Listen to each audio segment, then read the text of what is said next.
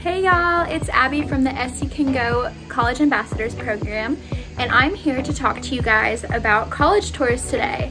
So as this crazy time's coming up in our lives and we're trying to narrow down where our future is headed and where our degrees are headed, it's important to know all of your options.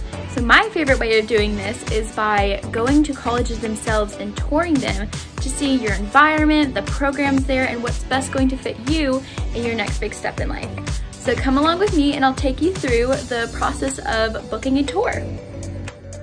So your first step is to go onto a college website of your choice. You are then going to scroll down to the Visit Campus section, usually located in the menu bar at the top right of the website. As you scroll down, you will see how it says individual visits. And for most colleges, it'll be something like this that will indicate you to register a visit and specify the date, the time, and how many guests you will be having on your visit.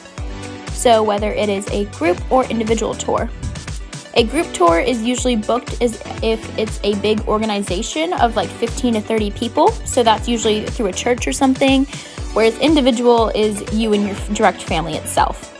And then you just pick your day and you give details about your visit, and that is how you schedule your college tour.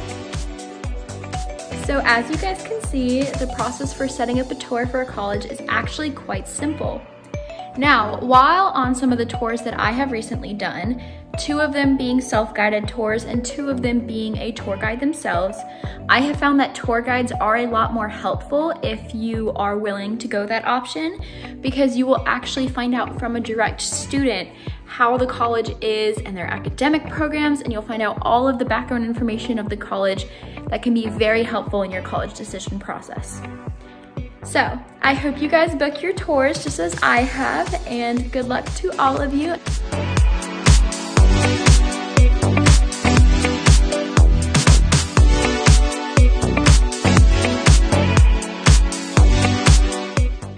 Hey guys, so I just got back from my U of SC tour for the college visit and I thought I would let y'all know about some of the pros and cons of what I experienced on my tour.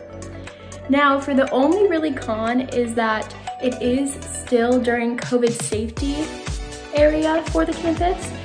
So I was not allowed into certain buildings and certain things just to for safety measures for the students and the staff and for my safety. So it was kind of weird not being able to go everywhere, but that being said, I still learned so much.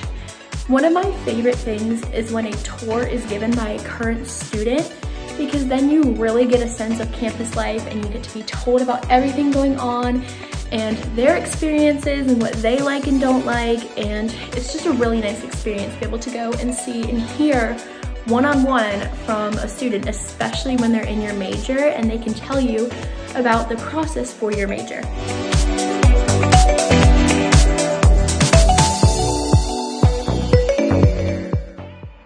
At the beginning of a tour, typically you will meet in a centralized building where they will go over the plans for the day.